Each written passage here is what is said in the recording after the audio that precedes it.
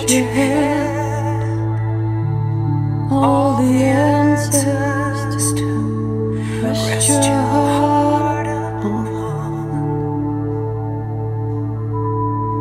But something happened. Don't see it coming. You can't stop yourself. Now.